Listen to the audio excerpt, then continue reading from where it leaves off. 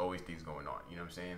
Um, yeah, like like even with with Kanye not dropping Donda, like there's obviously reasons. Like people thought it was just like for for the uh, the theatrics of it all at some point. But for me, I appreciate that what Kanye's doing. I think I, I learned to appreciate it. At first, it was irritating me because I'm like, bro, drop the album, bro, drop the album. Like, there's no, I was talking to a friend about this the other day. It's like there's no other situation in life where you can just you can where where somebody can just play with your emotions like that and it just lead to nothing. Like and you still wait wait for them to keep playing with your emotions, right? So it's like this this Donda album was supposed to drop months ago, and it's like he it's like imagine a girl come to your crib. She says she gonna come to your crib, right? So the girl she put to your crib, woo. She knock at your door. She like, oh yeah, what's going on? I'm here right now, right? So boom.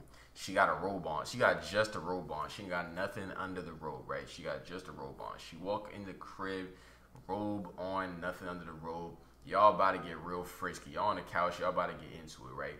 And then she take off the robe, you about to start touching the feeling, and then she put back on the robe and she leave.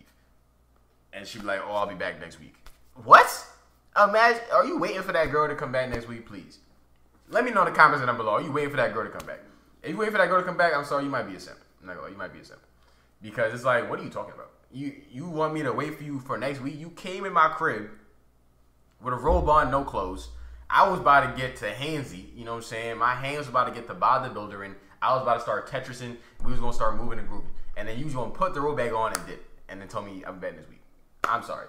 There's no other arena where where things like this can happen.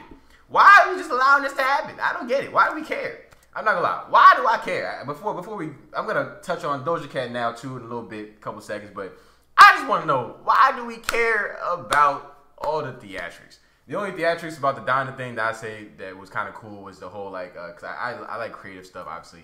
Um, so I appreciated the whole uh, uh, uh, he he made his old childhood house and then like set himself on fire. I think that was kind of cool. That was creative. I, I don't think anybody's out here doing stuff like like that of that nature. You know what I'm saying? So shout out to him on that. Um, I think that was type different. But at the end of the day, like I said, drop the album, bro. Drop the album. I don't give a damn. Drop the album, bro drop the album. Like all these theatrics is cool, woo woo for like music history. I like music history, dope, awesome. Drop the album, bro. Drop the album. Who cares? Like drop the album, bro. Drop the album.